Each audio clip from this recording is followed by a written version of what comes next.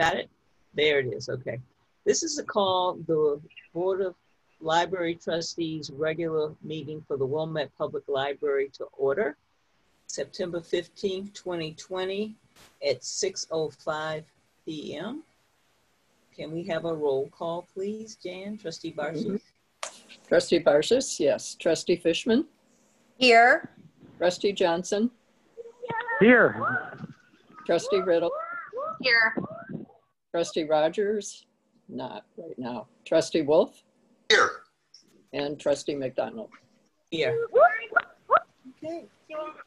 And we also have present uh, three staff member, four staff members.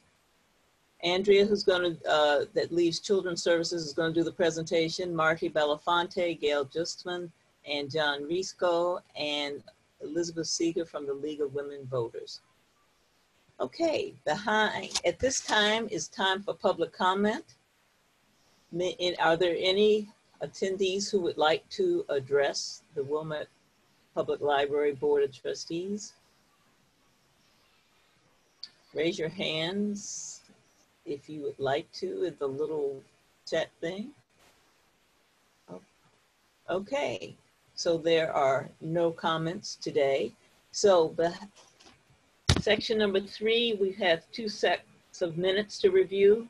We have the August 13th, 2020 special meeting minutes where we reviewed the capital reserve study project. Can I have a motion to approve those minutes? I'll motion to approve those minutes. Is there a second? I second. Okay, Stuart Wolf has motion to approve the minutes from the August 13th, 2020 special meeting. And Jan, Ba- Dan Barshis has uh, seconded. Is there any discussion? It's been moved and seconded. Can, yes, Joan, you got a question? Okay, it's been moved and seconded. Dan, do you want to do a roll call? please? Sure. Thank you. Trustee Barshis, yes. Trustee Fishman, Yes. Trustee Johnson, Sure. Trustee Riddle, Yes. Trustee Rogers, not present. Trustee Wolf, Yes. and Trustee McDonald. Yes. You also have the minutes from our August 18th, 2020 regular board meeting. Behind section number three or in the attachment. Is there a motion to adopt the minutes from the Uh. August 18th, 2020 board meeting? I'll motion to adopt those minutes. Okay, is there a second? I'll I'll sec- second. Okay, Trustee Fishman. okay. Uh, Trustee Wolf has motion to, uh, motion to accept the minutes and trustee Fishman has seconded. Is there any discussion regarding the minutes? Any corrections? Mm-mm. Okay, there being no corrections, can we have a roll call to adopt the minutes from the June, August 18th, 2020 board meeting? Mhm. Trustee Barshis, yes. Trustee Fishman, Yes. Trustee Johnson, Yes. Trustee Riddle, Yes. Trustee Rogers, absent. Trustee Wolf, Yes. Trustee McDonald. Yes. Okay. At this time, I think I'll let you introduce our youth services manager, uh, Director Austin, and we look forward to hearing what's happening Mhm. and future plans. Okay, um, well, joining us this evening as our special guest pre- presenter is Andrea Von Johnson, our head of youth services, and she's going to give us an overview of the summer reading club and talk a little bit about our programming for youth uh, this fall. Take it away, Andrea. Fantastic. Can you hear me okay? Yes? Mhm. Awesome. Uh, so it's good to see you all. Yes, I Hello. can. Thank you. Thank you for all your support the, in recent months. Um, I'm going to talk a little about the summer reading program and then um, our plans for fall. Um, so we usually start planning our summer reading program around January. So in March, we realized quickly that we were going to have to uh, pivot, as they say. And uh, so we reinvented our summer reading program based on some you know, what we were hearing from parents about how they were zoomed out and they were overwhelmed with online activities at that time. And um, so we decided to make it as hands-on as we could. And so we um, created a mailer, Summer Reading Club mailer, which you're probably familiar with by now, with an activity poster that they could hang in the window um, or in their home. And we also sent them reading logs to every household in Wilmette. And uh, we had them report to a virtual booth in lieu of reporting to a booth on site since we didn't know when the building would be reopening when we planned it in March. Um, so um, we got great feedback about that. And thanks to the friends, we were able to offer some generous prizes for reporting their logs on our website. Um, we offered a $5 gift card to the Dairy Queen for 10 days of reading. And then when they reach 20 days of reading, they could receive a $15 gift card for the bookstall Winnetka. So we were also happy to be able to support some local businesses at the same time. Um, we got lots of um, fun um, emails uh, through the reporting form from kids talking about how they're reading, and we were able to send a personalized response to every one of them. Um, you know, responding to what they were reading and making suggestions, and the parents really enjoyed um, getting that kind of feedback. Um, you know what? I didn't open the stats, Anthony, but I'll do that while I'm talking. Um, we, um, yeah, we had, I think, about 900 responses. So it was um, about half, um, uh, over 500 reported for each for 10 days and 500 for about 500 and something for um, 20 days. And um, oh, it's right here in my board report. Sorry. 538 youth reported 10 days of reading and 498 youth came back to report 20 days, which is a really good kind of finishing rate because usually people will like start and then not finish, but they really finished strong. They really wanted that that um, gift card from the book stall. Um, so we were thankful to the friends to be able to shift what we had been planning to spend this year into um, some generous gift cards, and the kids were excited about that. Um, we also, that, I'm sorry, Andrea. Just a quick question: Was that yeah for the the children the $15 gift cards to the book yeah so i'm so um that those were the numbers just for the children i don't have mm-hmm. the numbers for adult services um, but the um, we um, through our we decided to serve the teens in high school um, mm-hmm. through the youth mm-hmm. program we part we partnered with krista the teen librarian to send out these dairy queen and bookstall gift cards to up to grade 12 and then the adult mm-hmm. services department we're only sending out um, the gift cards for the bookstall Mm-hmm. That's very nice. Yeah, yeah, and they. I remember Jill saying that she got some better numbers than she usually does. So I, think uh, we might have to keep up with this. I don't know how we're gonna keep doing it, but uh, we'll we'll figure something out. Sure. Um, and we had um, a virtual concert with Wendy and DB to celebrate the end of the summer. Um, so we, we, we kept it simple. We tried to replicate what, we, what the kids like to do in person as much as we could um, and to give them a free book, which is what you know is really the center of the the program. Um, and uh, every um, person that sent in um, a online reporting form um, got a link to a parent survey in their response. And so we sent out the parent survey starting June 1st, and we closed it out August 12th. And we had only 69 responses. Um, but those those were helpful in trying to design what we're going to do next. So in August, um, we were we reevaluated what we were doing because in the spring, you know, we closed March 13th, and within two weeks, we were up and running, replicating our in-person schedule, the same number of programs we were doing, but um, virtual with recorded videos. Um, and we um, replaced all the scheduled paid performers with Zoom programs. Some of the for some of them it was the first Zoom program they had ever performed, um, and um, you know we looked at that. We looked at the numbers for that, and then we looked at our survey, and it looked like um, majority of the parents were preferring Zoom as the platform for live programs. In the beginning, we had been hearing that parents want to watch a program at their own convenience, at, you know, whenever they like. So. Um, what we've done is we've um, consolidated a couple of the story times um, to do them once a week instead of twice a week and doing them live on Zoom so they can be interactive and we can see them and, and we can um, respond to them. But we're also trying to record them at the same time and then to share the videos online afterwards. So we're giving them the best of both worlds so if they want a live experience, they have that. and then we'll also have a recording. So if they can't make it at that time, you know, busy parents are very busy, then um, they can watch the recording through our website. And we're also um, updating all the website pages um, for youth to reflect all the new programming schedule and um, found a way to embed um, the videos, which live on YouTube, but they can watch it right through our website. Um, so we're directing more traffic there as well, and it's more convenient, I think, than watching videos um, on Facebook. Mhm. Um, so that's what we're trying. We just started this week. We're doing a four-week trial, um, and some of the pro. I brought up the programs for you. Um, we're doing our core storytime programs: baby time, rhyme time, um, and big kids story time for ages four to seven.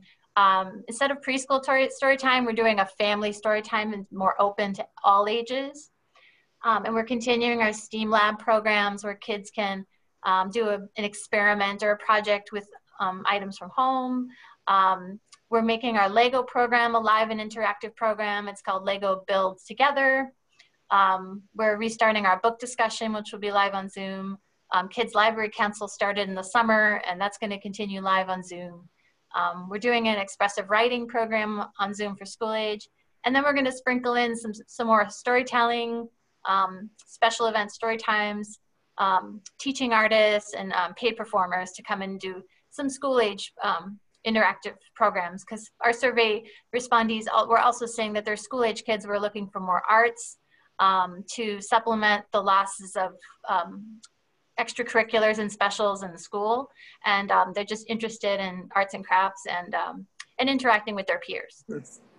So we hope it works well. Um, we're going to evaluate it, look at it, and see how the you know how many attendees we get. If we need to tweak the process, um, we're learning as we go along. This whole year has been kind of, of reinventing everything we do. Um, our survey also um, we saw that majority of, of patrons prefer contactless pickup to get their materials. So we've also been talking about how we can make it easier for them to browse, for them to choose books, to pick up books. Um, in the beginning of the, the shutdown, we added a kids book picks form where they could get reader's advisory from a librarian through the form. Uh, they just tell us every, everything about what their kid likes to read and we would pick out books. Um, in August, we added an option um, for the librarian to just choose the books, put them on hold for pickup, you know, the most convenient option possible. And now overwhelmingly, almost every person chooses that option. So yes. they want, they don't even care what the books are. They just want us just, they want us to pick them out, put them on hold, done, you know? Um, so we're happy to do that.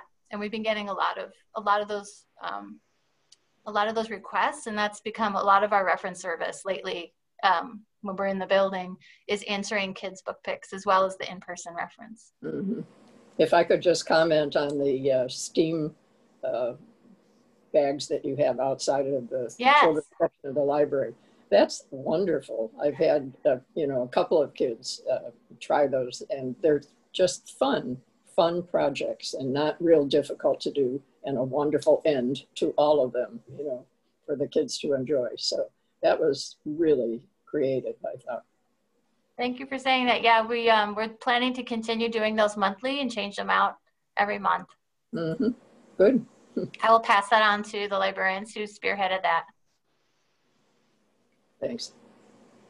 And those can be picked up with contactless pickup as well. Mm-hmm. They just give us a call and we arrange for them to do parking lot pickup for those. That's great. Mm-hmm. Yeah.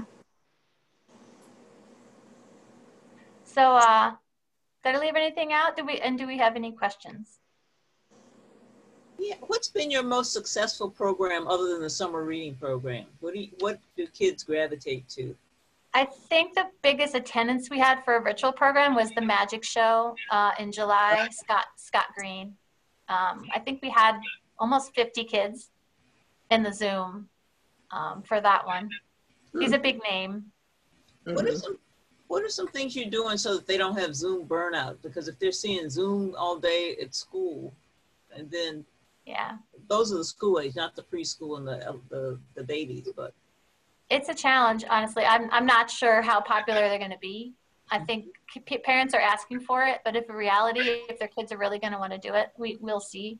I think um, what I'm thinking from, I mean, having my own child in remote school right now is that they don't really have opportunities to talk to each other about whatever they want. And so to give them free time to connect with each other, I think would be valuable for them. Um, so there's the art and creativity piece, and then the making sure we build in peer-to-peer connection. You know, Hmm. we'll see. We'll see how it goes. You know, if we're ready to to reinvent it again, um, I feel like we're just relearning our jobs from scratch. Um, and um, and we'll just keep trying to get feedback on what people need. Um, This is not quite- trustee Riddle. I had a, thank you so much for the update and we were able to, I have three young kids too. We were able to take advantage of, of a lot of that. So I kind of echo your thoughts of um, the face-to-face and um, the ability, face-to-face time between students at school age, but also the ability to be active. Um, and I know a lot of our events are, you know, obviously reading, writing focused, arts focused, but I don't know if there's any thoughts on the ability to, you know, have some, physical activity. mhm. you know, that's also maybe something on, you know, nutrition, maybe something on um, how how our bodies work, you know, or how our hearts pump, or something, you know, something like that that Mhm. might get them focused on activity once again or interested in activity or incentivated into activity again so Yeah.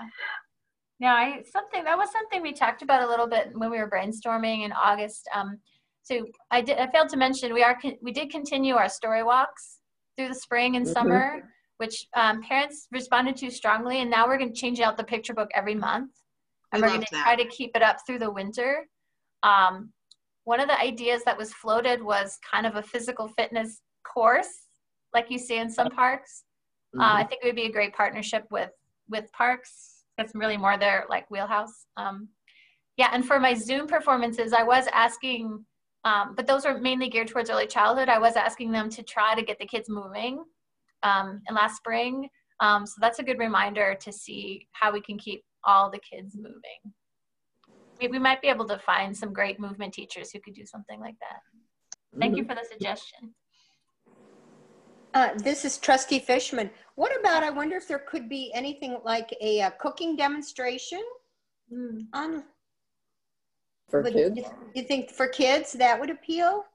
You know, or Yeah. snack, you know, something like that, how to make, not necessarily ants on a log kind of thing, but something, you know, peanut butter and celery, but, um, you know, something fun that maybe they could do. A lot, I like Fina's idea of, um, you know, nutrition and health and Mhm. um, something along those lines.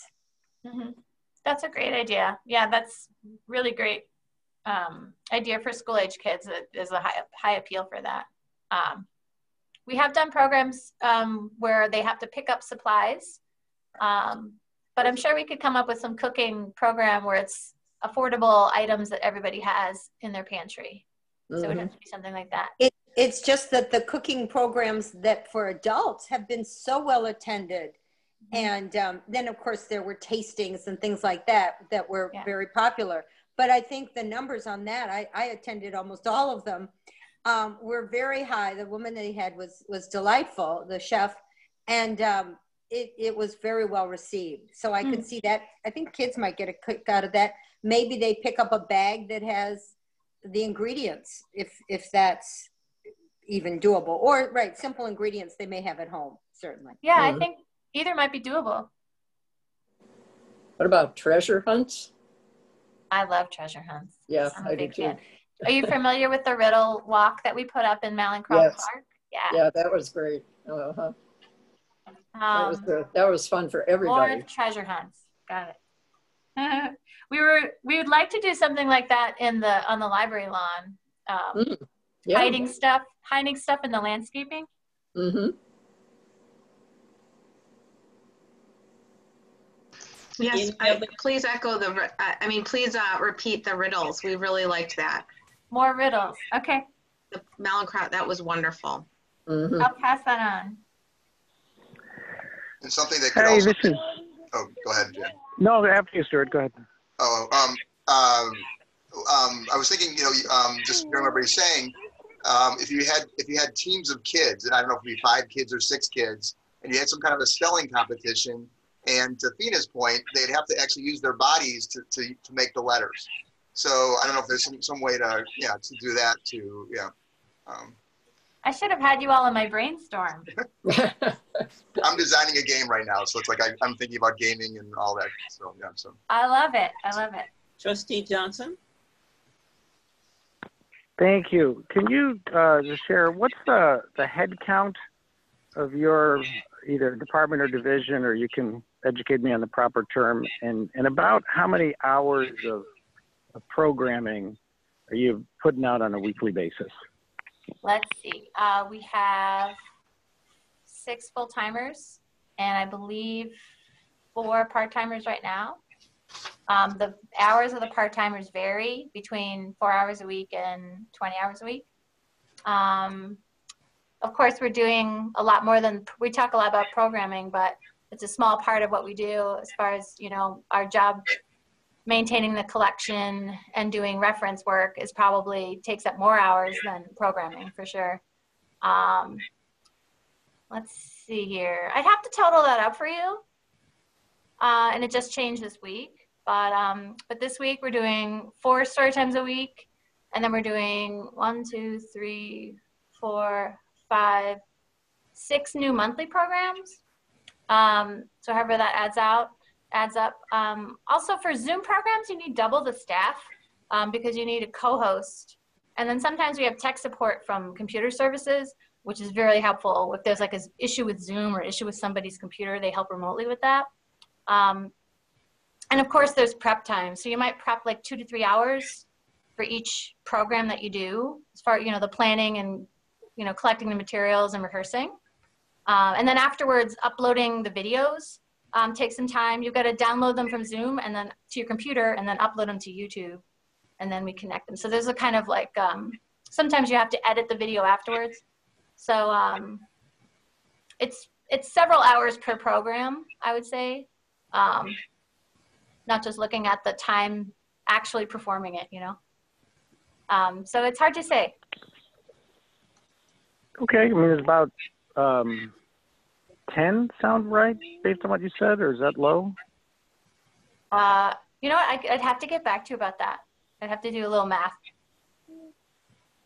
Okay. Uh, and then could you talk a little bit about, um, I mean, uh, my kids are in District 39. We've got a um, Wilmette Library app on our iPads now, which is nice to see more, uh, you know, formal relationships uh, between uh, the school districts. Can can you talk a little bit about sort of the, what sort of formal partnerships uh, we've got with the Avoca or District 39 or New Trier? Sure, sure. Um, well, currently, excuse me, Andrea, um, Dan, can you mute your? Can, excuse me, Dan, can you mute your microphone because I'm hearing a lot of feedback from your. I think it's from your phone. I I am muted, but I'll continue oh, to remain muted. It's not okay. showing muted. Okay. Thank you. Sorry. Okay. Uh, so we we've been uh, a new partnership with D39 is we are um, uh, making our ebooks more readily available to students, um, and they are um, getting a product called Sora through Overdrive, which means that they can um, students can have access to um, all the library ebooks using um, their student ID or lunch number. It's going to make ebooks for students uh, through in class and at home a lot more accessible. Um, and the um, schools, D39 is also going to be purchasing um, a large, larger collection of ebooks through that platform um, for curriculum needs. Um, so that's something pretty exciting. Um, we're going to be visiting classrooms virtually to talk up the new ebook product once it's launched. Um, we've already had some fourth grade teachers at Harper that are chomping at the bit for it to come in and visit their classes. So that's going to be fun. Um, and um, we're also, um, I've got two workshops scheduled in October to talk about ebooks and e-resources for homework help. So like support for remote learning um, for parents and, you know, kids are welcome to attend as well. So we're going to do a workshop for K to four and a workshop for um, grades five to eight. Um, that's what we've been talking about with the schools um, most recently. Um, I've been in touch. We've been in touch with our contacts there to find out, you know, what they need and what's going on. Um, and um, I'm introducing more um, drawing programs and arts because we've heard that the specials are not as much of a focus. They're focusing on the core subjects in the schools. So kind of keeping an eye on what's going on with, with their new plan helps us, you know, inform what, what our programs are going to be. Um, so that's, that's what's been going on this month. And then final on that, um, maybe uh, does youth typically thought of to include high school, or does youth sort of end at eighth grade? Um, so we usually end at eighth grade, and then adult services serves, serves grades nine to 12 with their um, teen librarian. Okay, thank you. Thanks, Andrea, and thanks for the fine job that youth services. We all wish we could be kids again, those that don't have kids to take advantage of some of the programs. Thank you so much. I'd stick around, but I've got to get home to my kiddos. Okay, but thank you. Thank you all so much. Thank you. Mhm. Bye And bye. if you've got any other suggestions, you can email Andrea. Yeah. Okay. Bye bye. Okay, bye-bye. We're moving to the treasurer's report. Trustee Rogers is not here, so we're going to go over the financial reports for August 2020. And if you look at the, uh, with the revenue report, 1.156 million, 420 were, was received in real estate taxes, 17,929 hundred dollars and fifteen cents in the general fund, interest and five thousand eight oh hundred and four dollars and nineteen in replacement taxes. Given that the deadline is coming up for taxes before, uh, October first, before interest is charged, we expect to receive some, quite a bit more in the month of September. Uh, expenditure report, total ex- general fund expenses at seventeen point nine percent are expected, are the expected two-month rate of sixteen point six six percent. Seven accounts show expenses higher than the two-month rate, but at this point in the fiscal year, these overages are all due to the timing of expenses. You've got the check detail that shows the wellness insurance. Insurance is always one of our largest ones aside from materials uh, and the reading. And you also have Chase Card Services for five thousand two hundred and the Cooperative Computer Services for twenty-two thousand two seventy-five nineteen. Uh, the total amount of uh, this report represents expenses paid by check and does not include expenses paid by electronic transfer of funds such as the biweekly payroll on eight fourteen twenty for one hundred and the eight twenty-eight payroll for hundred and eleven thousand dollars, four hundred and ninety-five, for one hundred and eleven thousand, four hundred and ninety-five dollars and fifty-eight cents. You see the certificate of deposits and we were lucky we got it because the rates have dropped pretty low for some of the ones that are being renewed to less than 0.06 percent. You also have the statement of liabilities and fund balance. And so are there any questions? And trustee, I mean, Director Austin will be answering those. Bina, I mean trustee Riddle? Hi, thanks.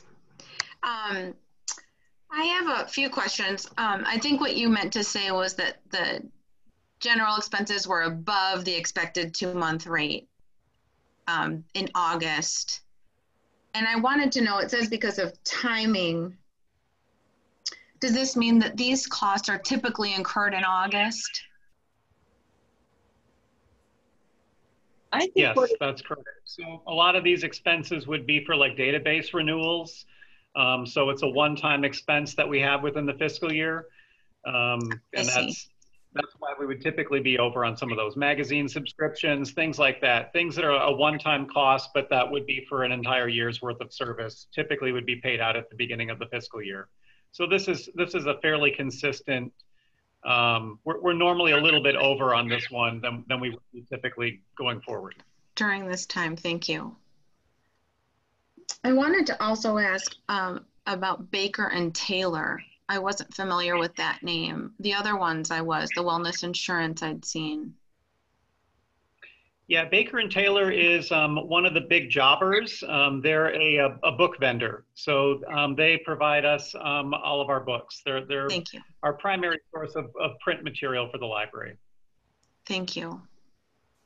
That's when you reference the book, the book costs. Uh-huh. And then um, we are kind of in a. This was also uh, it happened to our our family as well, but um, we had this when I was reading about the certificate of deposit activity, August seemed to be where um, there's been some maturities. And so I wanted to ask how um, this approach that we take to transfer um, the investments, are we, um, obviously with it says North Shore Community Bank, and then is it, is it Ron and that meets with North Shore and with, No. how do we change our approach and how do we, how does this approach? Um, Well, we're, guess who's involved? we're legislated in terms of how we can invest our funds. And Sure, and I, think yes. trustee, uh, I, Risco and Anthony, you all, you want to talk a little bit about the process of redoing? Oh, no, so good, that helps me. So it's Miss, it's John And Anthony, and yeah. Anthony, Right. okay. And And so I'm, we I'm, shop around the banks and sometimes the banks shop around us, but right now, all the ones I've looked at are like 0.6 percent in the last two months. 0.06 percent, some of them. Thank Uh, you. John, I see that you've unmuted. Do you want to make a comment there about the uh, CD activity? Yes, uh, just um, to, it's it's it's a tough situation now with the um, the chaotic situation of the markets. Um, CD two-year CDs are just it's it's 0.1 percent. It's just not worth putting it into and and locking it in for an extended period of time. So North Shore Community Bank has a product called the Max Safe account, and what that does is it pays a higher rate and it looks at the Illinois funds rate, which right now most municipalities are going into, but that has gone from like two and a half percent beginning of the year. I looked at it earlier today, it's at 0.13. So there's really not many products out there we can put this in. So that's why I'm going with Max Safe because it's the best we can do right now. It's short term, and if something happens, we, you know, if something goes up and there's a product, we can put it into that product. that makes sense. Thank you for the explanation. Any more questions? And this is a good time to ask questions if you have any before we approve the bills and salaries for August 2020. Does anybody else have any questions? Yeah, I have a, a suggestion perhaps that's also a question as we're about to vote on this uh, motion approving payment of the library's bills and salaries. And this is something I plan personally to support. Um, it would perhaps be helpful to know if there's uh, any trustee is voting no on that particular issue. It would be helpful to know what the reasoning is so that we can better understand the vote.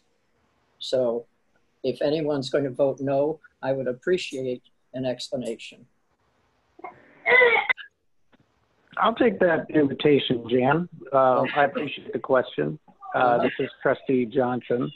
Um, yeah, my thinking is um, I've been looking for some more shared services and shared resources with our sister agencies that we've had to date. And, you know, looking at hiring our own building manager with, uh, pardon my uh, young colleague in the background, but what happened to the six o'clock hour. But, um, you know, hiring our building manager to me is an indication that I think we need uh, uh, a better look at our operating budget. So uh, I intend to uh, continue, I'm- I intend to vote no tonight as well on our, uh, essentially, the way that trustees can express their ongoing opinion on our operating budget. But it's not any particular vendor that happened to pop up in August. So we appreciate you sharing that and we hope that you would do so in the future. And I think Trust, uh, Director Austin is looking at a building services man based on that capital reserves report. There's going to be an awful lot of work coming forward with our property. Uh, thank you. Sure. Okay, is there a motion to adopt the bills and salaries for August 18th? A motion uh, to approve the bills and salaries for August? Okay, is there a second? I'll second. So it's a sort of a tie between you. two. Okay. So Go ahead. trustee- we'll split us the between you drum. two next time. Trustee Wolf has moved to approve the bills and salaries for August, and trustee Barshish has seconded it. Is there any other discussion? Okay, being none, can we take a roll call? Sure. Thank you. Trustee Barshis? Yes. Trustee Fishman? Yes. Trustee Johnson? No. Trustee Riddle? Yes. Trustee Rogers? Absent. Trustee Wolf? And Trustee McDonald? Yes. Okay, we're now moving to our two action items. The first uh, is the suspension of the patron. And this will be the second time that he has been suspended. Based on our policy, uh, Director Austin has sent a note suspending him, and then what we need to do is affirm that. And so I based on out of concern for both our employees, our patrons, and the overall environment, I would move that we suspend.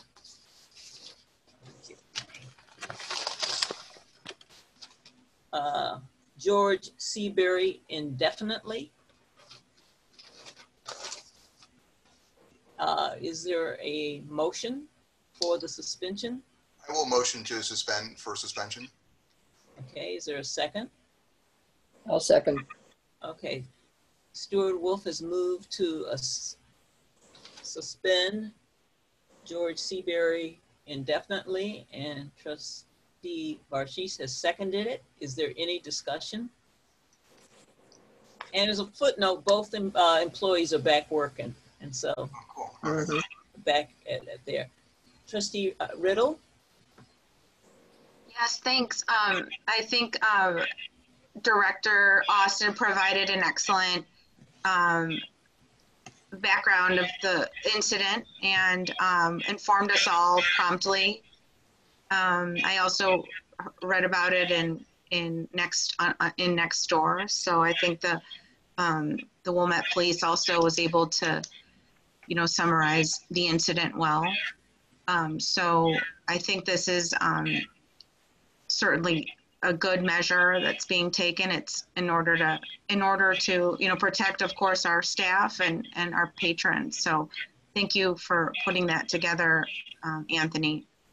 I wanted to ask that you mentioned that there was a second, in- this was the second incident. Did we, is this the same individual who was suspended in fall of 2019? No. This was the one that was suspended because there were two people that got in an argument in the computer room. And um, he took offense because a, elder, a senior, a more mature gentleman, since I'm a more mature, uh, basically uh, told them about his sagging pants. And so there became a verbal discussion. No problem. Okay. Okay. I just wasn't sure if this was the, the, that was the same individual. No, Okay, a different one. Different. Any other questions? Thank you. No questions, but I would like to uh, uh, thank the Wilmette Police Force for responding the way they did and taking care of things, actually finding this person and uh, taking him to a better place, at least at this point. Um, just one quick comment. Um, I'm, uh, I'm glad you sort of uh, helped clarify that it was from that incident in the computer room. And um, I just wonder whether we might think about, given that we have a fuller picture of the gentleman who's under discussion today, whether uh, we might want to think about looking back on whether the decision that I supported at the time to also uh, temporarily suspend the other gentleman uh, for, I think it was three months or six months, whether we might want to um, reconsider um, our position at the time and if there's something we may want to think about with that gentleman, given that we've got a fuller picture of the, the gentleman at issue. Um, well, that's all I wanted to put out there for consideration. Thank you. That he's been off, the gentleman's been off suspension, but he's, they don't think he's been back. He's not been back to the library, has he? Yeah, I mean that's why I bring it up. I just kind of, I just kind of feel bad about it. You know, I, Okay. I certainly voted for it at the time, but I, I just kind of feel bad about it. So I just wanted to raise it here. That's all. Thank you. Any other questions, comments? It's been moved and second. Can we have a roll call? Mm-hmm. Trustee Barshis? Yes. Trustee Fishman? Yes. Trustee Johnson? Yes. Trustee Riddle? Yes. Trustee Rogers? Absent. Trustee Wolf? Yes. And Trustee McDonald? Yes. Okay, we're moving now to talk about the purchase of the vehicle, and I'm going to turn it over to Director Austin. Okay, thank you all.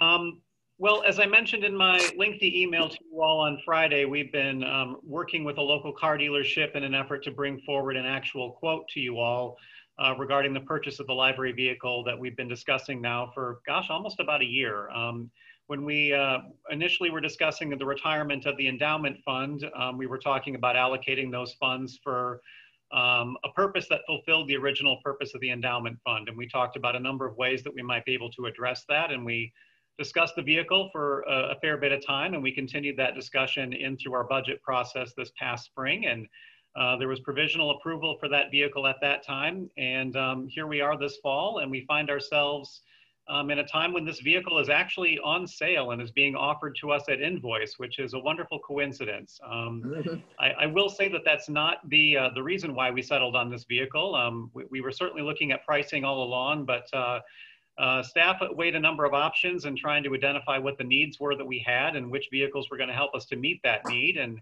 we ultimately were taking into consideration um, what the staff's purpose was, as well as the board's wish to find a vehicle that was going to support our green initiatives.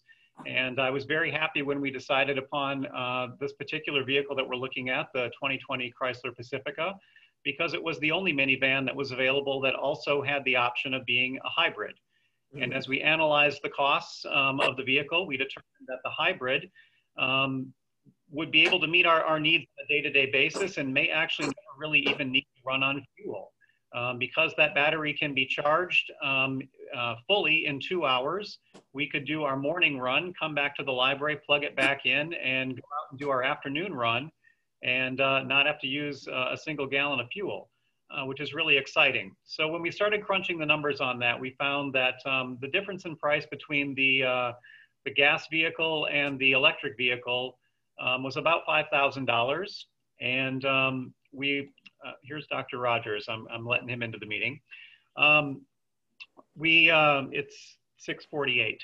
Um, we, uh, we determined that um, the, uh, the hybrid vehicle was actually going to be a really good option for us after we ran the numbers. We thought the break even on that $5,000 difference would probably happen sometime around year three or so, depending on how many miles we end up driving the vehicle. And since we figured that we're going to have this vehicle in our fleet for probably about 10 years, um, and that is the warranty period on the uh, on the battery itself too on the vehicle, uh, that we feel that this is that this is a, a reasonable investment. Um, I will also add that in our consideration as we were looking at vehicles, I did look at um, Go Green's website. They've got a page that they've dedicated to um, uh, vehicles. And uh, there were a number of resources there that the staff and I found valuable as we were doing research. And uh, we felt that the consideration of the hybrid vehicle um, helps us to be good stewards to, to our community. And uh, I think it really reflects the character of our community if the library vehicle is in fact an electric one. So um, I appreciate your support of that. And um, if you've got any questions for me about the proposal that we have before you here, um, I'd be happy to, to take any questions that you may have. Uh, Fina. Thanks, Anthony. Um, I was you mentioned the um, the hybrid versus non-hybrid um, benefits, um, and charging is certainly, um, uh, you know, battery versus gas use is certainly, um, I think, a good thing. I wanted to ask about the price difference. So for a non-hybrid was $5,000 less than a hybrid of, at the invoice or sticker cost. Is that correct? All right, so as a point of clarification, um, right now the um, the uh, the Pacifica Hybrid is on sale. It is the only vehicle that is currently being offered at invoice price um, by Chrysler. There's a promotion right now because the 2021 model is coming out in October, and all the dealerships are trying to clear their lots of the 2020 models, and therefore they're offering them at invoice pricing through the month of September. So not only is this, um, this vehicle is actually maybe even cheaper at the moment than the gas vehicle. I mean, my initial price quotes were for the, the MSRP on these vehicles. Um, obviously, the, the, the, pricing that's going to be extended to us will be a little bit different than that. Um, right now, the hybrid might actually be cheaper than the gas one. I see. Okay. Thank you for that clarification. And, and then you mentioned there is an extra cost though to um, add the charging. Is that at, at the car or at the um, library location? That would be um, a, a, cost we would incur at the library. So it would be um, an additional fixture that we would install on the outside of the building and then it would be it would be mounted on the building and uh, then we'd have some electrical work to, to get it tied into the system.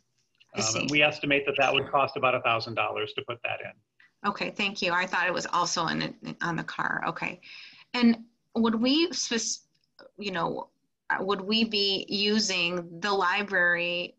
Would the library only allow that charging station specifically for this hybrid vehicle? Correct. Great. Um, the break even term, I think that's the accounting term for the depreciation cost versus the effective cost. It's where you, where it meets is you said around three or four years. Is that correct? So um, that's based on the MSRP for the gas vehicle versus the hybrid vehicle. Um, because of the $5,000 difference, we were estimating what $5,000 worth of gas would be um, with the mileage that we would be driving it. Um, assuming that we, we would be running electric only for those 5,000 miles or those $5,000 versus the gas dollars. I'm, I'm rambling. Um, uh, it's that's kind of that's what the formula is. That's what I'm referring to as the break even. Um, but right now, I, I think that probably is I'm going to say is probably irrelevant because the cost is probably cheaper for the hybrid vehicle at the moment. When we did the research in late August, we weren't aware of this sale. I see. So the break even there is ma- it's mainly our like where we would break it, where the library would break even in the cost of the car, not not so much in the depreciation versus. Okay. Right. So if if you were to tell me, oh gee, we don't want the electric, five thousand dollars, that seems exorbitant to me. That's kind of a luxury. We don't need to do that. Um, I'm saying that, you know, well, actually, we would probably break even at, at year three or four. So it probably, you know, it, that would be something to consider. Got it. Yeah, that's a, a, nice point to make. Thanks. Um, and I wanted to know also about the amount of mile mileage that you typically go. We're going like the Wilmette area, Glenview, you know, kind of Skokie, Evanston, Kenilworth, kind of all but up. But how many miles typically do you do you um, is the route. Right. So this is going to change. Um, right now, when the when the library book drops are open, it's a seven mile loop that we run. Um, so when I quoted that seven mile figure in that email, that's what I was referring to. That's the book drop collection. Now, in the afternoons, we do have staff that go out and make um, individual deliveries to preschools, uh, to senior centers, visits to the public schools, to park district facilities, our partners.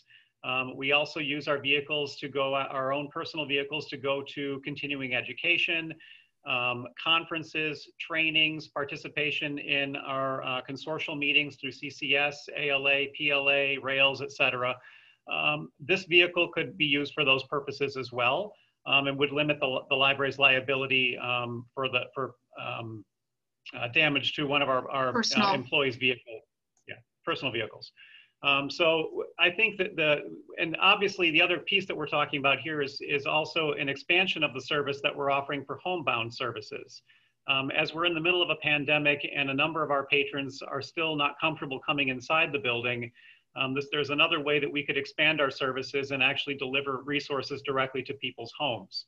Um, since we're already out doing runs, we're looking at logistics to figure out, you know, if, if this is a feasible option for us, and we really feel that it is. It's not camera ready to share that information right now, but it's in development. And if we had that vehicle, that would definitely be another way that we could deploy it uh, to the greater use of the community.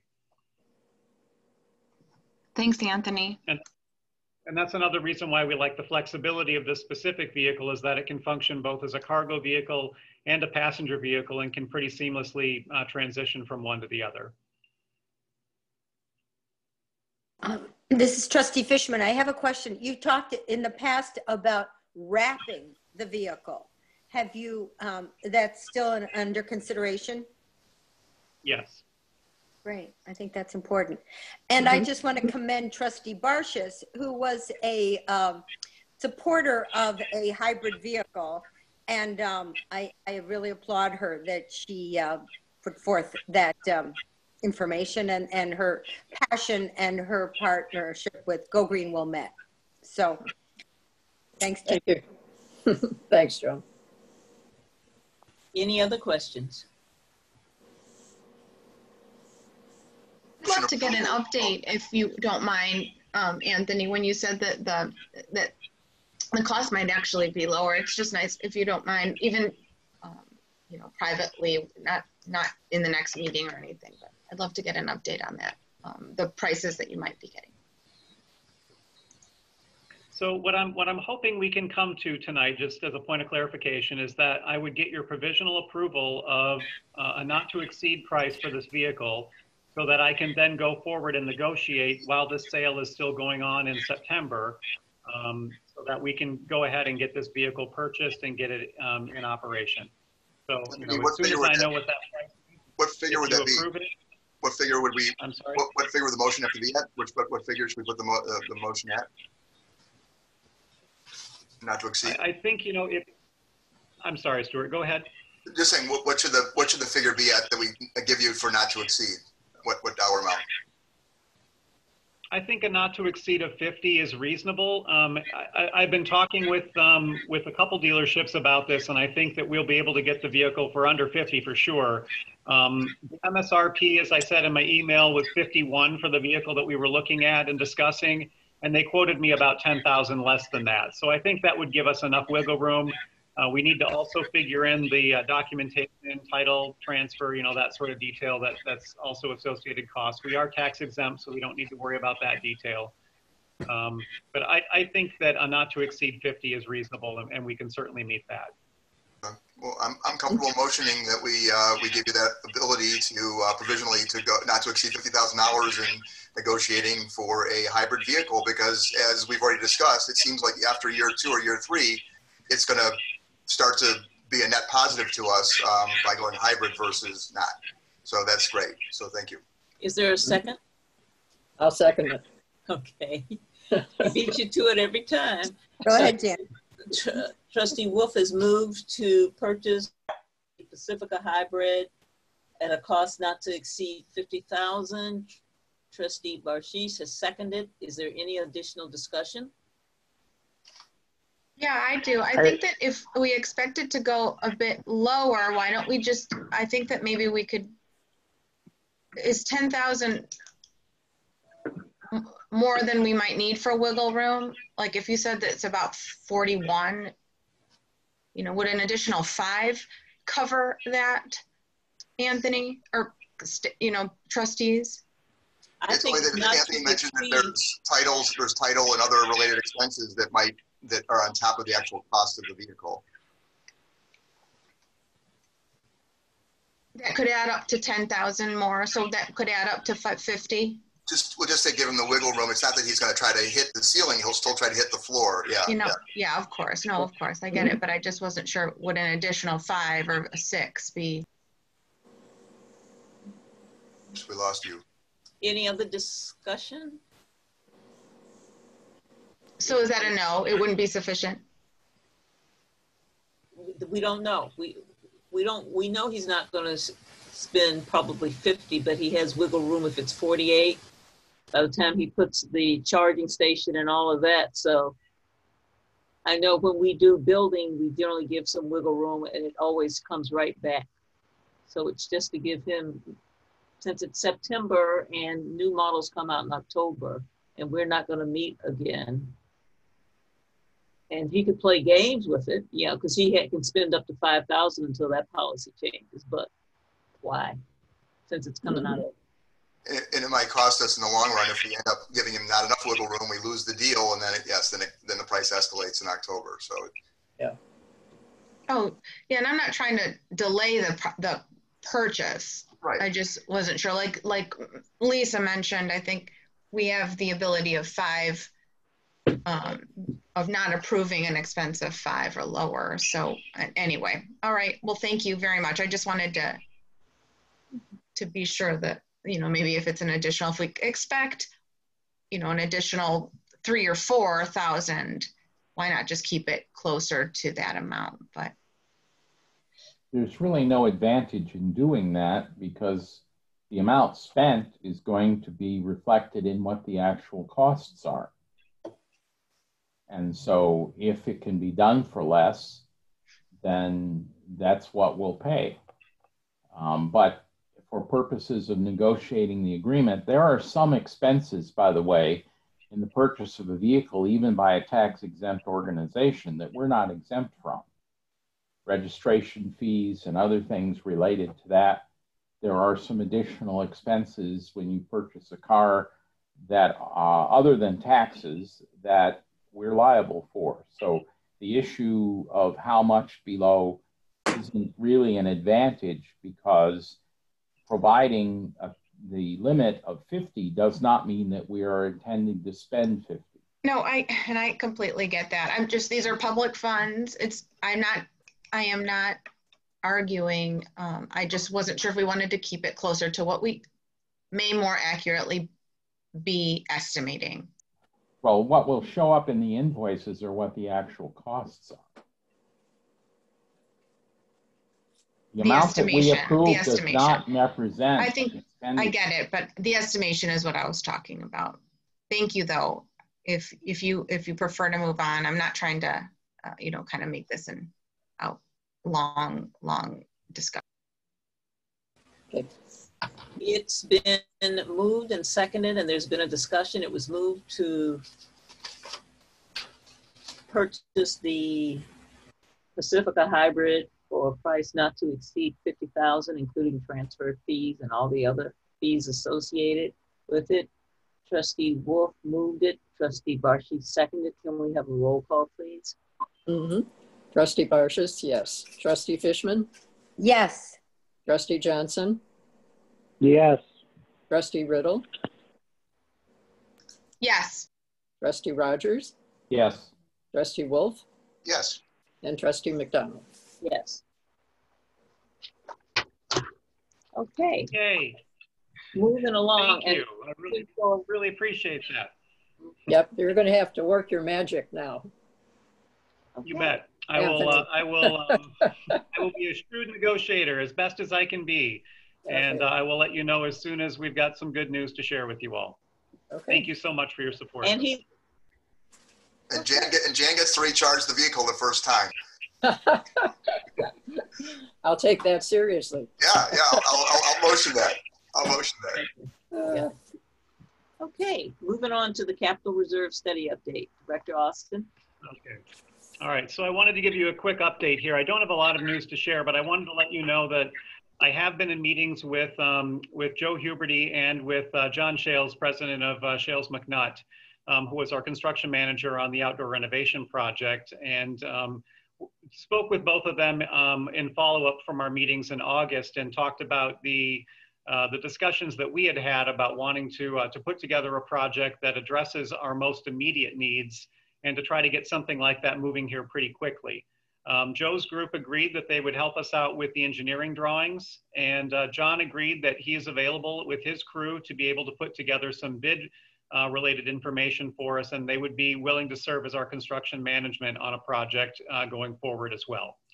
Um, so the idea, the idea here would be for us to be able to um, to uh, bring hopefully uh, a bid project um, forward here uh, this fall. Um, uh, the timeline is kind of aggressive for us, but um, what we're going to shoot for is to try to have something um, that would be posted likely in November and that we could bring before you all in December uh, that you could then vote upon. And then we could move forward with our contractors, have them engaged um, early in January so that we, we would be able to start a project like this potentially in the winter.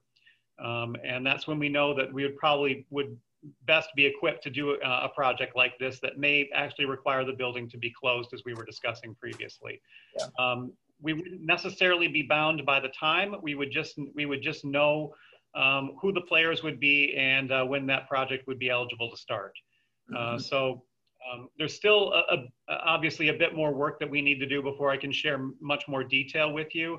But I wanted to let you know that we are in motion and uh, that we're taking this seriously and that we're going to try to get this thing rolling here really quickly this fall. Um, any any questions or comments about um, that activity? Uh, just this is Trustee Barshis. Just um, thank you for putting all the work into this that you are doing. It's a, a lot to shoulder when you have everything else going, but the uh, people who will be working with you to do these projects uh, are excellent and they will do a great job. I have full confidence in you and, and in them. So. Thank you. Um, and Shales also told me that we could get Jason back again. Uh, Jason was our oh. project manager on the outdoor renovation project. And so we would love to Great. be able to work with him again. Yes, wonderful. All right, any, any other questions or comments about uh, the capital reserve project? I guess to follow up on that, um, uh, I think it's great that we're getting a, a, professional process to estimate and implement our capital funds. Um, I thought I heard President McDonald suggest that our new, I don't know if it's hired or in the process, but our buildings facilities manager would be sort of playing a role in that. Could you talk a little bit about your sort of you know, perspective on whether these professionals that you're working with, if they're going to sort of be quarterback, or if you're going to be the main staffer, or if our new buildings person, you know, can you just explain to me whether what the role is of uh, staff versus these, um, you know, good consultants you're bringing on in terms of, you know, implementing all these projects? Um, I think the staff's role, um, whether it's myself or the manager, is to um, oversee operations um, at, of the library and to ensure that we're cooperating with the construction manager and his firm. Uh, the construction manager, Shales McNutt, would be coordinating all the trades and directing the daily work of, of all those skilled trades when they're in the building. Um, they would be responsible for all of those tasks. Um, obviously, the role that we're looking at with our new facilities and security manager uh, that job description is, is much more enhanced than what we had previously in that job description. So the expectation there is that that manager um, would be coming before you here to give updates about what the status of projects um, that are going on in the building would be. Uh, that wouldn't just be my responsibility, but obviously I'm still that figurehead and I would serve in that capacity and help to direct those activities and provide reports to you all. Um, but I am expecting this facilities manager to be more active and engaged. Uh, that said, um, it is still the, I, I, think the construction manager model is still the appropriate approach for us to take. I think we got great results by doing it that way with Shales. Um, for a very limited cost, um, they really took a lot of the work off of the library. Um, I, th I, think that was a reasonable investment. So, um, it, yeah, thank you. I, I, you know, I do too. I just uh, wanted to clarify that it sounds like uh, all that work would be managed by the professional bringing in and not this new position that we're hiring, which would be more of the internal operation stuff that we're uh, managing to do with current staff. But I, that was just yeah. my point of clarification. So thank you. Plus, you've also added yeah. security to that position, right?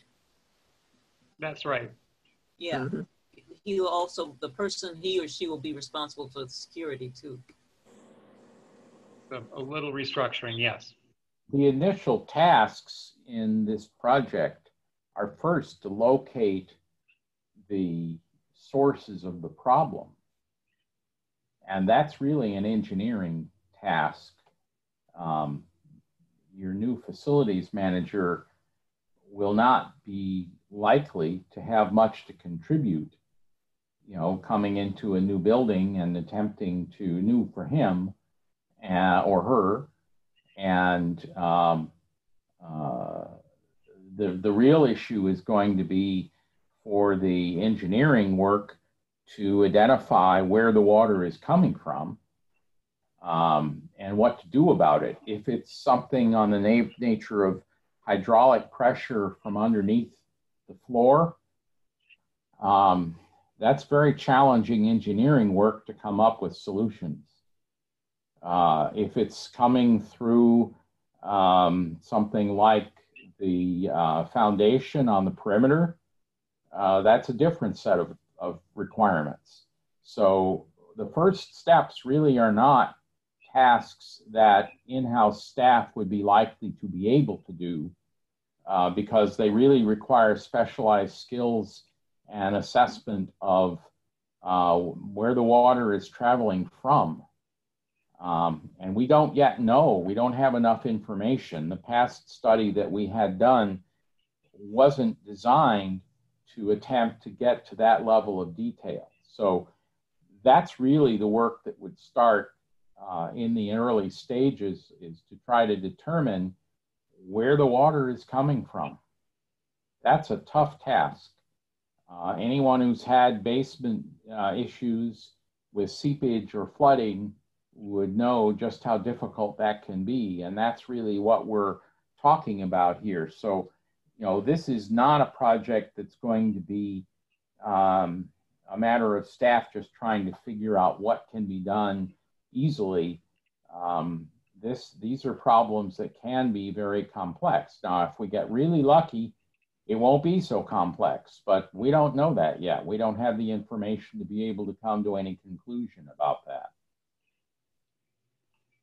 And I've dealt with a lot of water seepage issues, you know, with my home because of problems that exist that we've, you know, we've spent 40 years working on those problems and we have them under control at this point, but we didn't get them controlled in one step uh, or even in the first few years that we were here.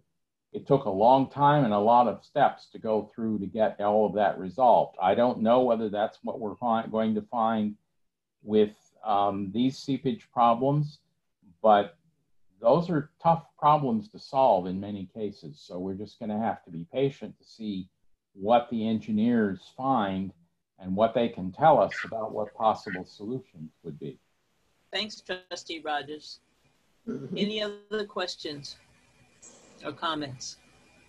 You want to go to serving our public 4.0. We got a great start with Andrea talking about kids programming. So, Anthony? Yeah. Um, thank you. Um, so, this is part of our um, our monthly process of reviewing the chapters and serving our public, and uh, this one's on programming. I did go through all of the standards and I reviewed the checklist um, that was provided to you all in the packet. And I'm happy to say that Wilmette Library again continues to exceed the standards. Um, in fact, uh, one of the items there almost reads exactly like our mission statement. The library presents educational, cultural, and recreational programs that reflect the community needs and interests. That's like almost verbatim what our mission statement is. The next item below that, programming is designed to address the diversity within the community to increase awareness of the library resources and services to attract new users. Um, that's almost a direct line out of our strategic plan. Um, a, lot of, a lot of these activities are um, in this checklist are part of our day-to-day activities and uh, part of the job descriptions of our staff. So we've already incorporated a lot of this into what we're doing. And as Andrea was saying earlier, um, we're trying to find ways that we can pivot and still have meaningful programs for people, even though we are, are not able to allow folks to gather in the library building and during a pandemic. Um, we know that not everyone adapts to the digital environment, and I think that is one of the challenges that we've got. Um, our programming partners with the Park District um, may be able to help us because they, they have space. And while the weather is still pleasant, we're able to do that. Um, we're able to use a little bit more space outside the library. Um, the lawn, unfortunately, is probably not large enough for us to host a substantial program. As you can see in Stuart's background there, um, that's a really great background, by the way, Stuart. Um, Stuart is the reading boy today. You're like right in front of the statue. Yeah, I know. I, I can do. Um, um, we're um, the, the, lawn space that we've got there, and as you know from our, our big lawn celebration that we had last fall for the finishing of the renovation, um, we can gather a lot of folks there. But when you start putting a six foot circle um, around each of those spots on the lawn, it really limits just how many people we can gather out there. And we took some preliminary measurements and just determined that wouldn't be an appropriate place for us to try to gather families in a pande pandemic. Um, so the virtual programming is still something that we're, we're all kind of adapting to right now. Um, and that is a bit of a sticking point for us, but we're doing what we can to, to adapt to that and to try to make it alluring for our, our, our public to attend those programs. Um, I'll talk about a little bit more about that here in the moment in the director's report, but um, I think that's probably one of the, if there were any aspects of, of this programming checklist that are a challenge for us right now, I would say that's probably the biggest one. Um, Wilmette really has historically exceeded um, all of these guidelines and we have exceptional programming here and well attended. Our, our patrons are very much engaged, whether it's the range of, of armchair uh, travel programs that we've got from, provided through the Rutherford Trust, or if it's the concert series that we're doing on the um, Friday nights and weekends. Um, I know that those are programs that our patrons miss because we're still getting really strong participation from those even in a digital environment. But um, it's just not the same attending a concert uh, via Zoom than it is, you know, doing it in person inside the mm-hmm. library. Uh, so hopefully this time next year, things will be different. Um, we're doing what we can right now, given the environment. Um, I'm happy to take any questions that you may have about um, the checklist if you want me to speak to any of those details. But as I said before, I think I think we're right on target where we need to be. I do have one comment. Um, I would like to congratulate you and the library on having programs with people of different colors. Um, given the climate that exists out there now, I think that's very important. And to bring people in to talk, explain, play music, whatever, is a real good idea right now. So thanks for what you do for that. Thank you. How about a review of the update of the pandemic response and reopening plan? sure. So, um, you know, uh, um, I would say that right now, I think one of our biggest challenges is um, the fact that folks are, are getting a, a little bit more I think, burnt out on the notion that we're in the middle of a pandemic. Um, generally, folks who are inside the library are following our guidelines. Um, we did introduce some new guidelines based upon CDC recommendations in August. Um, so beginning um, in late August, early September, we introduced a, a clarification of our mask requirement. Um, you can see this sign post at posted at the front door. The CDC um, is saying that masks that have valves and vents on them uh, allow expert, uh, uh, the, the wearer to expire respiratory droplets. If that person in fact has COVID, uh, they can spread the virus even though they're wearing a mask. So um, the CDC is recommending that folks not wear uh, those masks that have the, uh, the vents on them. we've got a sign that has pictures of the masks that we deem acceptable and those that are not, and those are the ones with those little vents on them. Uh, so that's a new thing. Um, and to help folks who are compliant by wearing masks, but have the ones with the vents, um, we are offering uh, free masks to those folks to wear when they're in the library to ensure that they're um, providing adequate coverage to themselves and others while they're here. Um, so that is one enhancement that we did put forth. Um, we have not met any resistance whatsoever on that implementation. We have handed out a couple masks to folks uh, since we did that, um, but we really uh, seriously have not had any issues related to masks here at the library. Uh, that's been great. Um, capacity limits, we, we are in fact getting close to with capacity. Um, we're seeing our door counts are going up. They're certainly not what they were last year, um, but um, our door counts are in fact going up and we, we very nearly reached our capacity this past weekend. Um, we are limiting capacity of the building to 50 patrons at a time and we got up into the high 40s over the weekend and um, uh, particularly in the youth services department, uh, we're finding that um, uh, some families were congregating up there and they were using the library as they would have, you know, maybe eight months ago. And uh, this just isn't the right space to come to, to, to plop down on the floor and have a story time right now. It's, it's a great place to come and get resources and to get help from a librarian, um, but not a place to camp out. So we're, we're trying to encourage folks to limit their visiting time to about an hour and, uh, and then to make their selections and move on so that other folks can enter the library. To date, we have not, um, we have not reached the capacity of 50 where we're limiting people um, and, and having them line up outside. Um, however, we do have an internal procedure that if the Youth Services Department um, reaches a capacity of 25 people, uh, that we may have to hold a family at the front door um, and wait for a family to leave before we'll let, let another group come in. Um, and again, that's just because we want to keep that the capacity of that space appropriate to the number of people there. It is a smaller space, and um, because it's on the second floor, people have to pass one another in the staircase. Uh, we're limiting how many people can be in the elevator at a given time too. So you know, we, like I said, we haven't had to do that limit yet, but we've gotten very nearly close to it. So I just want you to be aware of that. Um, I think with the with the uh, um, with the introduction of the vehicle, we can start revisiting the topic of reopening the remote book drops. That was one of the topics that we had discussed as a, a new service enhancement. Uh, so that would be a new step that we could take. Um, as soon as we've got a new facilities and security and facility and security manager in place, as well as a circulation manager. Those are two very critical roles that became vacant in the middle of the pandemic. Um, as soon as those are filled, and we expect that to be in October, um, hopefully for both of those roles, um, we, I think we'll be able to, to reevaluate some of those services and expand them. Um, our, our on-site book drops are now officially open 24 hours a day. That's a new, a new service um, that we quietly launched in uh, September. Uh, the last two weeks of August, we, we just toyed with the notion of not locking them at night to see if, if we uh, encountered any overages, and we did not. So we continued with that process, and um, so far our capacity for returns is, is fairly good. Um, from a circulation standpoint, um, at the very tail end of my director's report, I've got some uh, year-to-year comparative data in there for you. Um, I will say that what we're noticing there is our circulation, though, is going like gangbusters. I mean, you wouldn't believe that um, we are in a limited environment right now. Our circulation uh, from last year, um, we are only down 8% from last year, just given the environment that we're in. So with limited hours, uh, with, with far fewer people coming into the bu building physically, um, a lot of folks still taking advantage of parking lot pickup. Um, I would say we've got about 25 appointments a day that are booked for parking lot pickup. And then we've got a, a fair number of walk-ups as well where folks come just and just pull up on their own.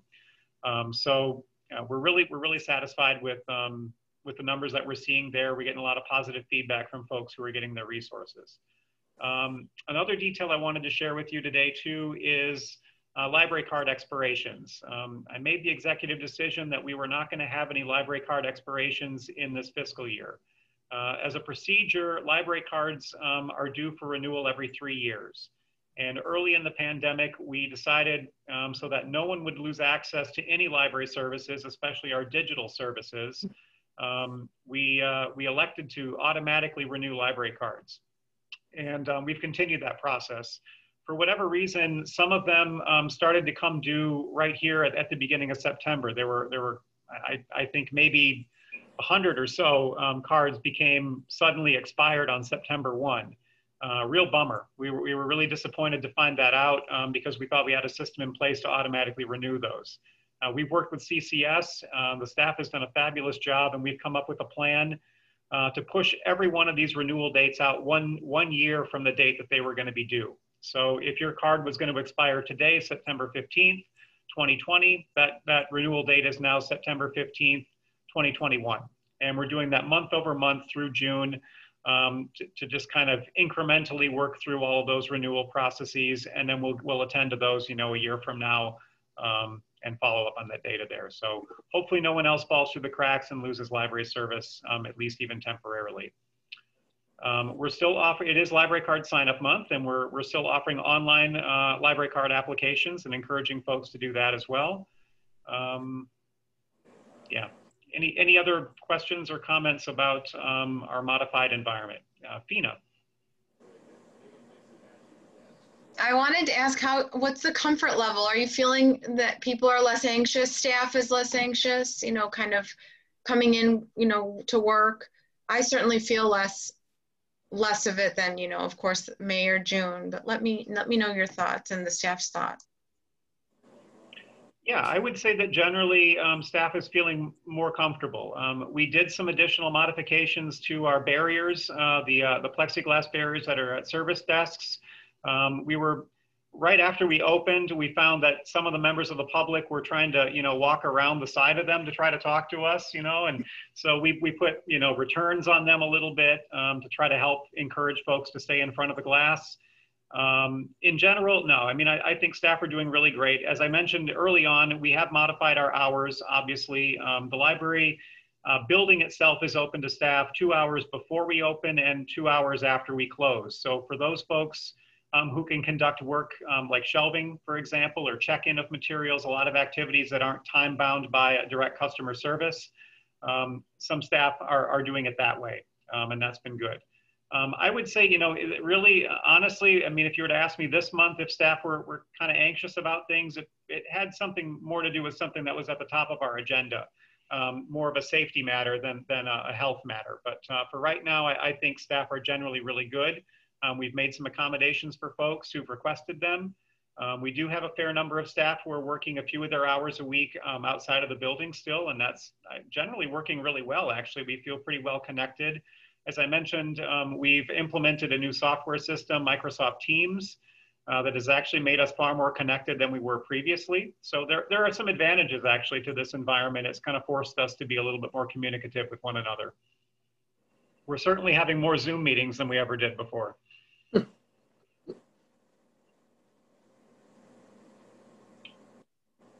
All right. Anything else related to that topic?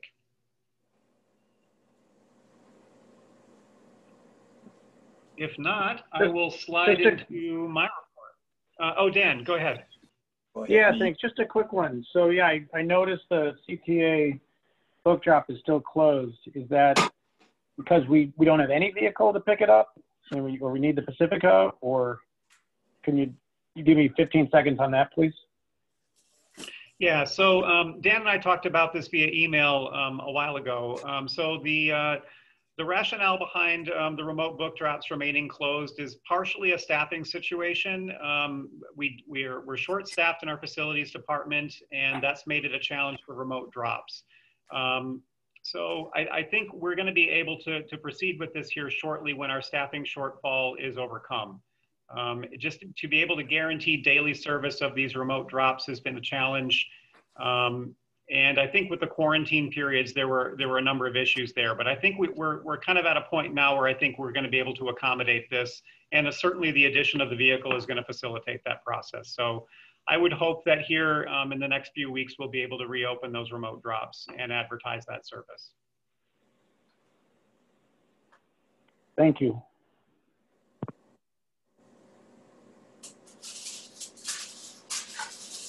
Director's All right, report. Nothing else? Yep, I'll move on to my report. Um, okay, Which you've already given us, so. Um, I'll try to keep it brief for you all. I mean, you, you've all got it here in front of you. Um, so um, going down the, the list, um, we had some really great programming in August in support of the 100th anniversary of the 19th Amendment. Adult Services staff did a great job with those two programs and they were very popular. Um, Nancy Wagner spearheaded those events primarily, and she also hosted a virtual series called Navigating the Job Search. That was a partnership um, with Skokie, Glenview, and Niles Maine District Libraries. Um, that was a multi-week event, um, and it also goes hand in hand with some of our other job searching um, resources that we're offering right now. Um, we offer We've got a job search page which provides a lot of passive information for folks, but we're also working with a consultant who will give a 30 minute career consultation. And we've gotten some really positive feedback about the folks who've taken advantage of that service. Um, so just be aware of, of that. Um, uh, our shelving manager, Patsy DeVono, participated in a week-long racial justice challenge that was hosted by the Fogler Library at University of Maine. I've included some links in my packet about this. Um, it's really awesome. Um, I'm going to try to, I'm going to participate in this as well. I mean, obviously the live event portion of this is done, uh, but all the information is still live and you can take a self-guided course through this. Um, I think we're, she, Patsy's part of the Equity, Diversity, and Inclusion Committee at the library, and we're going to be resurrecting that uh, committee again here very shortly. And I think that that team is going to try to shepherd in some of the training that we've uh, that she's incorporated from this uh, uh this plan, this um, project that she just went through. Um, I have something else related to this that I, I would love to share with you right now, but I'm going to have to save it till next month. So stay tuned. But I've got some fun news to share with you soon. Um, there is a statement down here at the bottom that I, I do want to read to you all because I think this is an important piece of our collection uh, policy that I want you all to be aware of. Um, as our librarians are updating their bibliographic resources for the public, so our, our book lists, we're working on making them more diverse, representing Black, Indigenous, people of color, and the spectrum of abilities and gender identities. We're establishing goals of meeting a minimum percentage of titles with a main character from an underrepresented population and depending on the topic, we are aiming for at least 20, 25% of the books with diverse main characters, and some lists will have over 50% diverse main characters. Um, as we talked about earlier this spring with the selection of American Dirt as our one book title, we are also seeking out own voices titles as much as possible for our list as we go forward. Uh, this is part of our charge to try to create a more equitable, diverse, and inclusive collection and to try to promote those resources through our programming as well. Uh, this is going to be a big piece of what we do through our EDI committee, and um, it underscores uh, the staff's commitment to ensuring equity uh, in our collections. Um, as far as the collections go, as I said earlier, our ebook um, usage is still going very strong. Um, we're showing 65% uh, increases in ebook usage even since the library has reopened.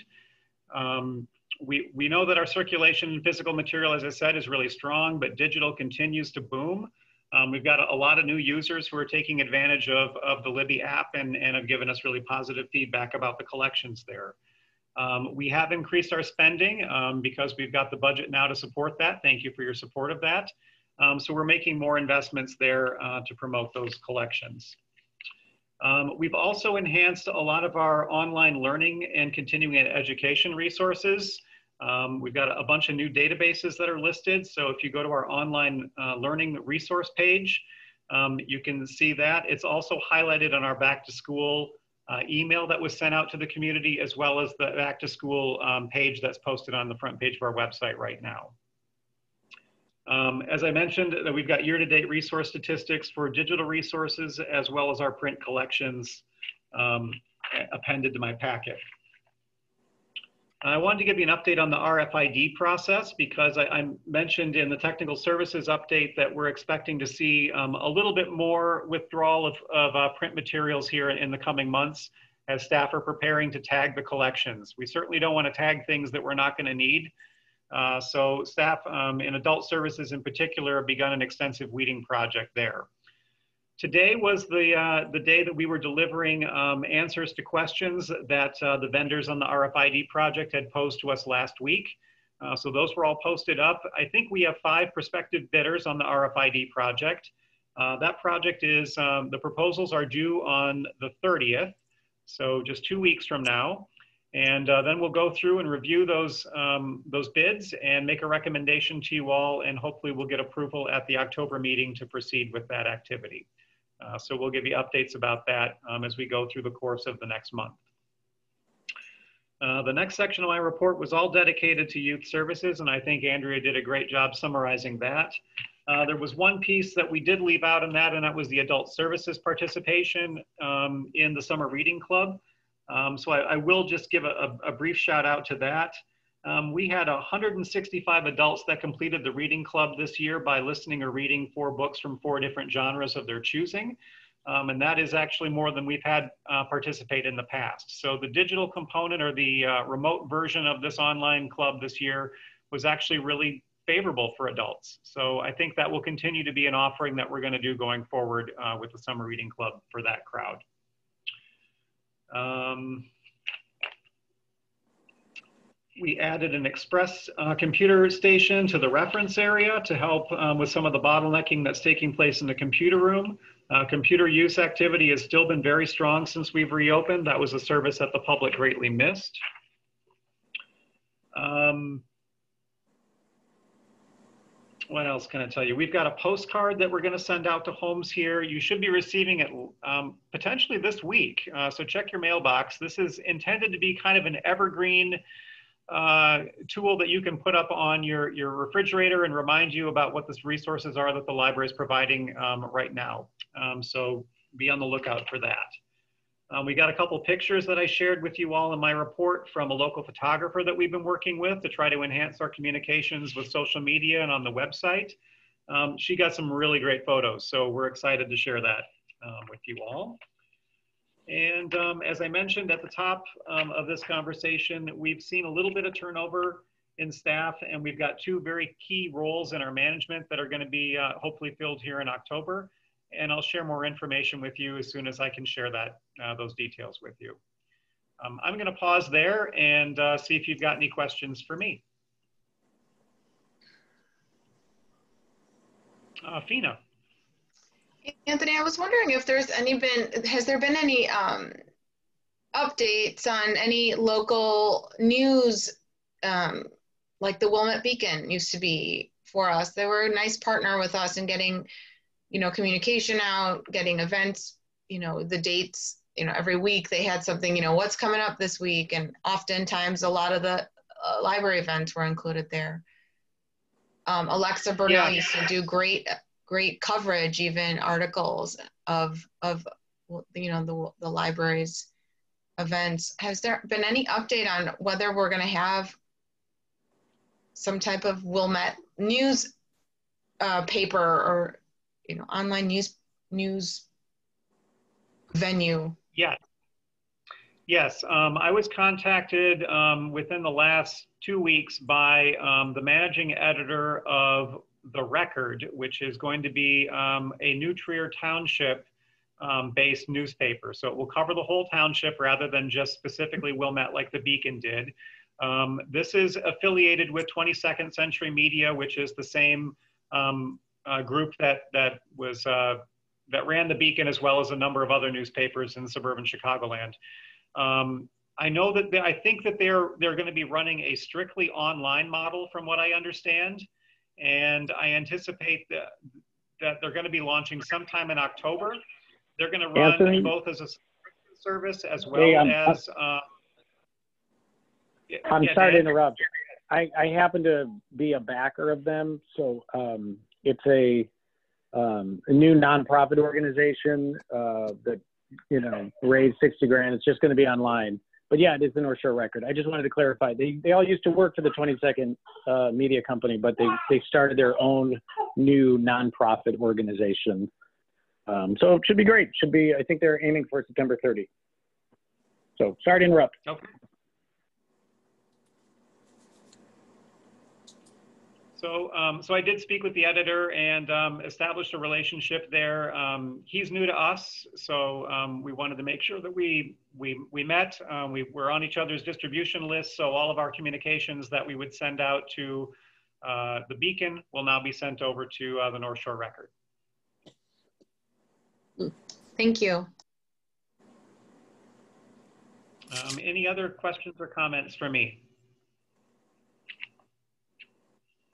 Joan? Um, Anthony, I have a quick question. Do you remember, uh, it might have been um, when you spoke about widening the distribution of our Wi-Fi into the parking lot and in, onto the green. Um, has that ever, and I think Stuart, you brought up a good question. How will that be, how will the community be alerted? I think it was a wonderful idea. Has anything else, has that come to fruition or um, any um, uh, PR or, or any um, marketing on that? Um, PR and marketing, um, I guess the answer to that is no. Um, yes, it has been implemented. Um, I, I, think we discussed this at the last meeting. It was launched in early August. Um, we have a, a, radio that's that's mounted um, just above Stuart's right ear. so if you look on the green there, Um, right on the side of the window, um, just to the just to the left of the Wilmette Library name, there's a radio in that window, and it get, it does broadcast out to the lawn. Yep, you got it, Stuart. Yeah. Right there, perfect. um, so there's one there, and then there are two that are um, along the north side of the building um, that are feeding into the parking lot. And um, we do have a number of folks that actually do use the park benches that are out on the, the north side of the building. And I frequently see people sitting there with their iPads, assuming that they're connected to the Wi-Fi. Um, and I've observed that outside of library hours. So um, the Wi-Fi is always on. Folks can connect to that service anytime, 24 seven. Could that be posted on our website? I mean, I'm, I, where I'm thinking, I don't know if in our community, but if kids needed a stronger Wi-Fi, they could come and sit outside, you know, whether any Nature kids or uh, Loyola kids or, or anything like that. Again, I think it's terrific. And I just would hope that the community is aware of it. Yes, um, we can certainly do that. There's also um, a website that is that was created for um, the underserved and unserved, talking about what libraries are offering services like this. It's kind of a, a directory or index of libraries that are offering um, Wi-Fi services outside of their buildings. And um, we've updated our holding in there to include that we've expanded our, our reach um, so that you can access the internet outside of the building. So, um, so that's that is getting broadcast to other folks, and even outside of our community. Um, but yes, we can add that to our website, Joan. That'd be great. Thank you.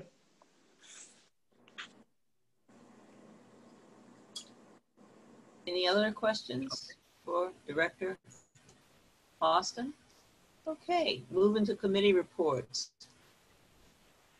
Trustee Barshis, Illinois Library Association. Mhm. Well, as most of you know, the Illinois Library Association is having its conference this year from October 20 to 22nd.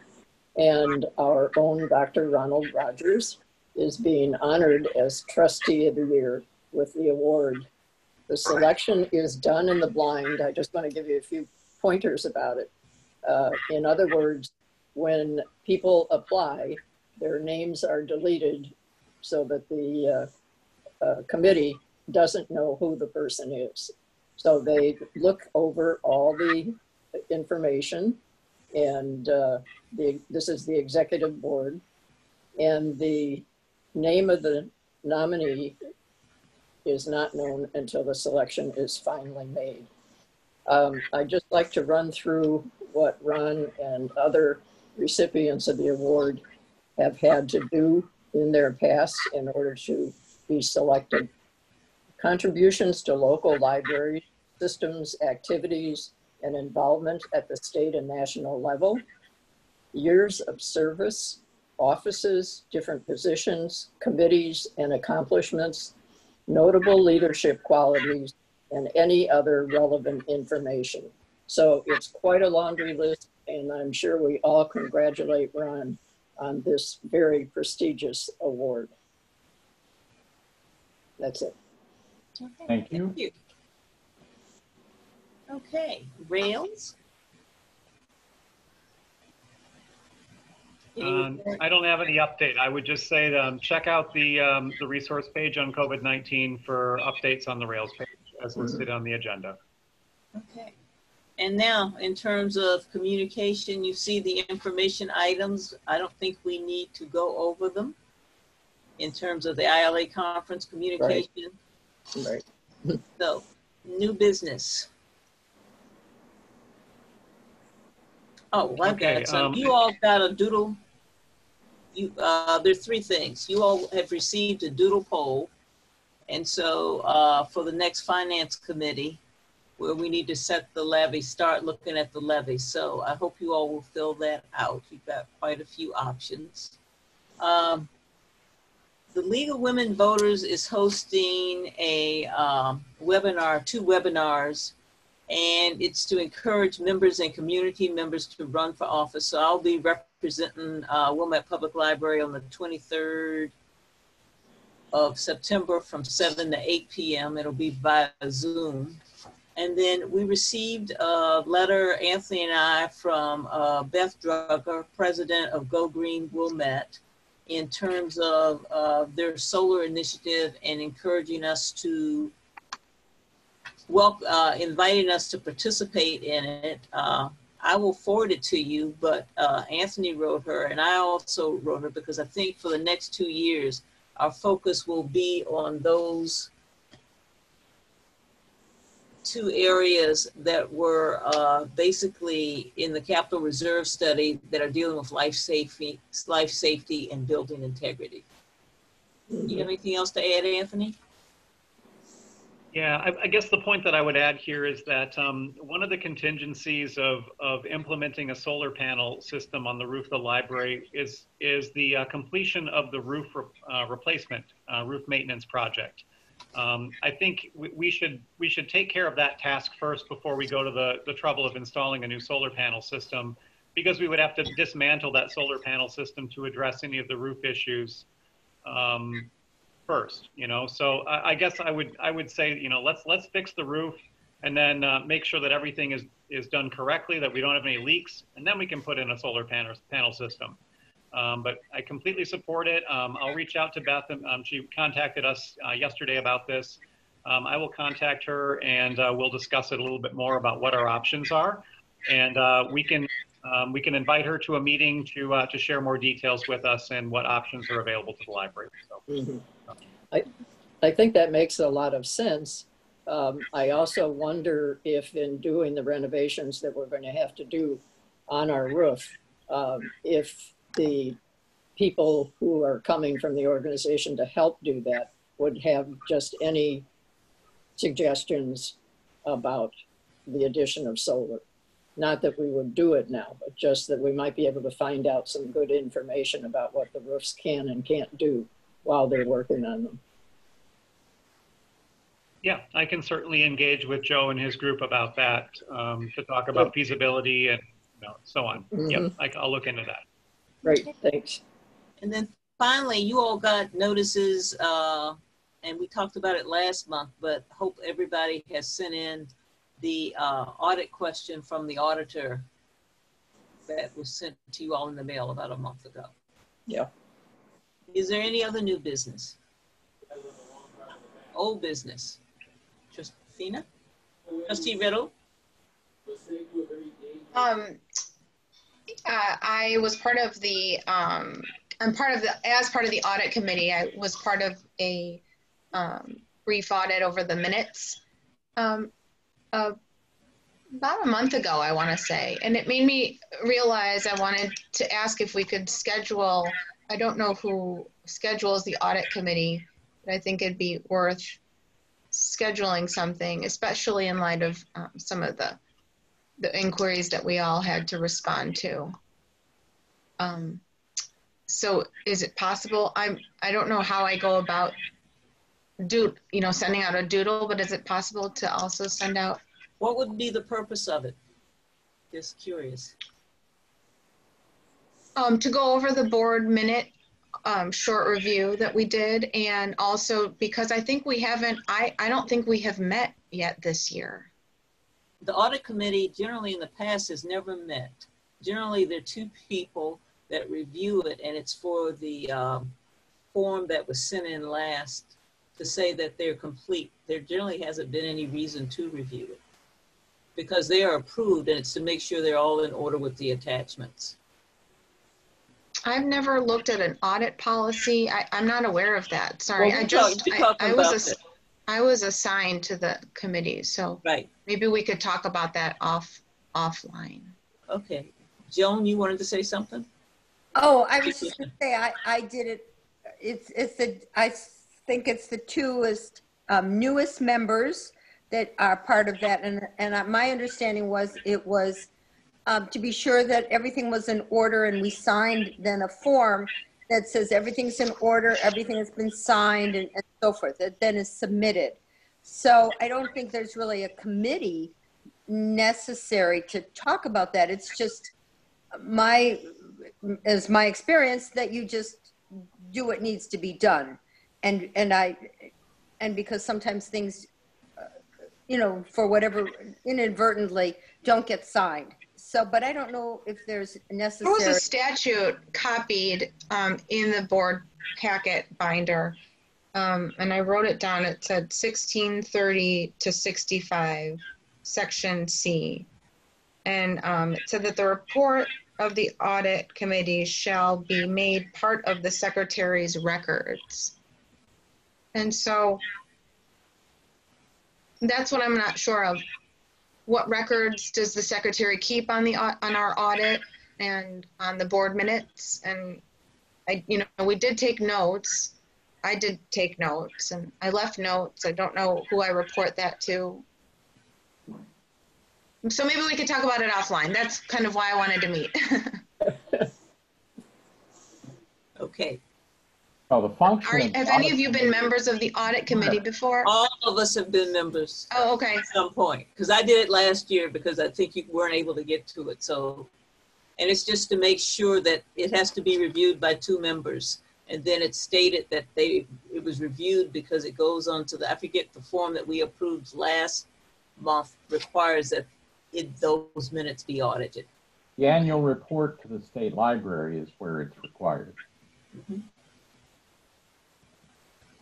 In fact, I don't recall, you know, I haven't looked at that in a while, but I don't recall that there's a statutory specification for it. It's in the requirements for eligibility for the um, per capita grant.